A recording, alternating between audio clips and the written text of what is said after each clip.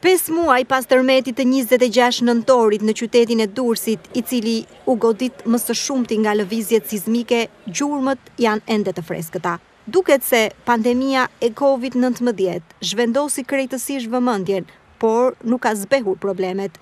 Me inerte në hyrje të pallateve dhe pragjet e shtëpive, do të ishte ky përkufizimi që i shkon kësaj situate, e cila duket se po kalon pa u vënë re nga institucionet vendore. Kamera e televizionit Adrianet u ndal sot në qendër të qytetit. Në bllokun e pallateve, pas zonës tregtare më të rëndësishme të qytetit, pamja është e tillë. Pirgje inertesh që kanë ngelur këtu, shumë pranë hyrjeve të pallateve, që pas tërmetit të njëzet e gjashtë nëntorit. Pamjet flasin vetë.